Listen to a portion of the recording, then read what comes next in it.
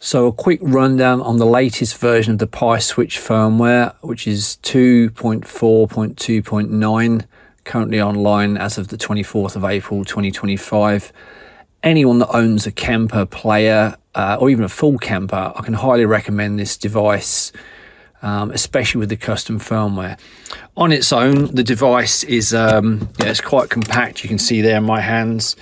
It's about 30 centimeters uh, wide, pretty much the same size. I've got it on the screen there. On its own, the standard firmware will work with many units. It's designed for like Axe uh, the HX Stomp, the Kemper, and various other uh, brands and types of pedals. But the PySwitch firmware is designed for the Kemper and uh, it's a two-way communication, whereas the standard one is just uh, MIDI out. So this is my config, and uh, one of the things you've heard me probably say in an original video is it's quite impressive that you can program the whole thing via uh, a web browser. And this web browser can connect via the MIDI interface on my PC to the actual Kemper, which is what it's connected to now. So if I just um, change some of the presets um, out of screen on my Kemper, you can see that the values update. If I engage the overdrive and various effects, you can see we get a feedback in terms of the indication of what effects going on off. This is um, where you can figure out you do all your homework. Um, you can go, you can dig deep and you can uh, get into the code. The main two code sections are the inputs coding. Don't be scared by all that text. Uh, a lot of that is automatically created, uh, as is the display uh, coding content there. Uh, a quick example how to program a button.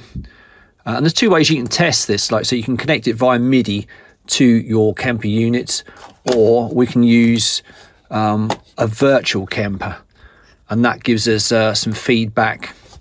If we look over on the side here of the different uh, slots and states and effects, and as we tweak them, we move it. But uh, it's quite useful if you actually connect your own Kemper, so you can see what's going on using the MIDI in that. So uh, if, for example, I want to program one of these buttons down the bottom, we select the grey bar. You can add more than one function to each button, uh, but that one, for example, is select rig number three, um, and it's using the LEDs on the collars, and I'll show you the actual MIDI pedal in action in a moment. Um, more exotic functions. I'm changing like the rig volume on this button, going up to plus 4 dB. That one sets it to 0 dB. Uh, also engages an overdrive. Tap tempo on there. And another cool feature, which wasn't on the last video, is the, the wheel. I can actually choose the tempo.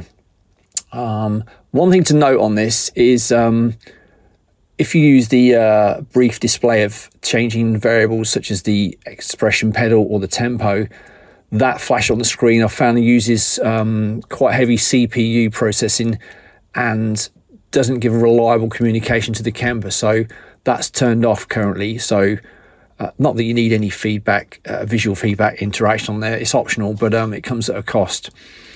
Um, so let's take a look at my actual unit, which is down here. And it's just a case of um, plugging the USB in one side and the other side goes into the Kemper, which is just out of uh, view on here. And that powers up the unit. You can see it firing up there. Only takes about five or 10 seconds to power up. He says. And it's just going to do a quick update with the uh, the Kemper to uh, get the information across. So as I said, the bottom five row, they're the slots. We get a number. Um, I've got a big display there of the, the bank and the slot number. The actual name, which you can change on the Kemper, comes up on the screen so you know what preset you got and any information you want to enter with that. Uh, bank up, you can scroll up or down as many or as few banks as you wish. Again, that's a new add-on to the since the last video. And it loops around, so I've got it limited to nine banks. So when I go down below bank one, the maximum bank's nine. And if I go above bank nine, I'm back to bank one. So I choose my bank, choose my slot, and then we've got it. As I said, um, you can tap tempo. You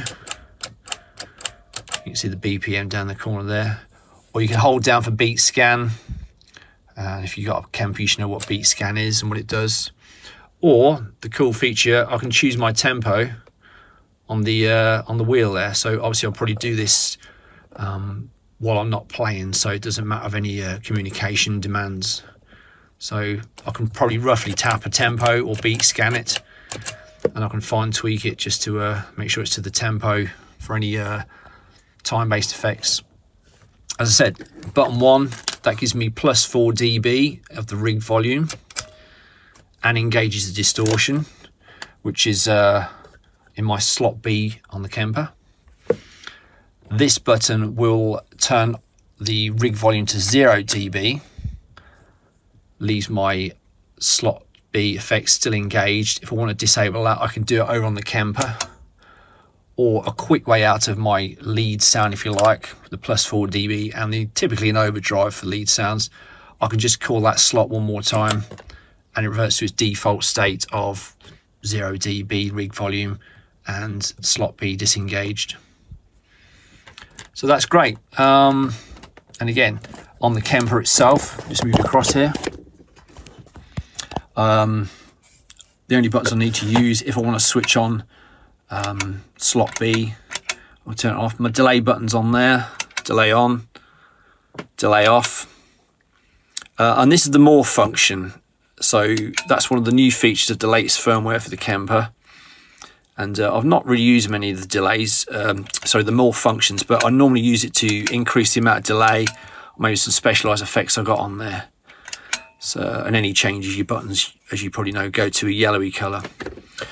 Also, I've got the expression pedal, which is on a standard stereo quarter inch jack.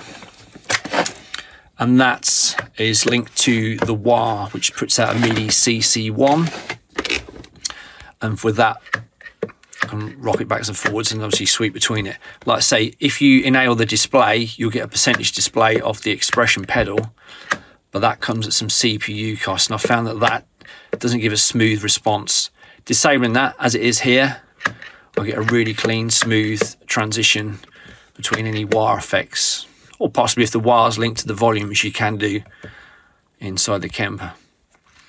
Um, the only slight negative I found that's happening with the PySwitch firmware, and the developer's are aware of this, is with no pedal connected, you get what's known as a floating value. So as that's coming out, it's not going no definite ref, reference point. So you might find with it disconnected, you get sort of fluctuating wah values, um, which can be quite annoying interference. I've done a hardware modification, which anyone with a soldering iron and a bit of electronic knowledge could probably do. So when there's no uh, expression plugged in, it has got a fixed reference point. So there should be no uh, sporadic values as such. I'll see if I can load a, a, photo of that at the end of this video. So there we go, the PySwitch firmware. Um, hopefully this is going to be in a state where I can take it out and uh, gig it now, more for a fly rig than anything. Um, also, one other bonus feature is whilst you're doing this, you could have the USB, uh, the other USB on the Kemper connect to Rig Manager, so you can actually see any movements that are occurring either from the pedal or from the on-screen editor to uh, to see what kind of uh, features you're tweaking and moving about with. So um, check it out. Uh, the web address there at the top, PySwitch uh, Um, search the Kemper forums. It's all on there. Definitely worth checking out, and I'm sure you'll like it. Please give the developer a donation um, just to reward his time. He's obviously put a lot of time and effort into this, and uh, I think you'll enjoy it. Signing off.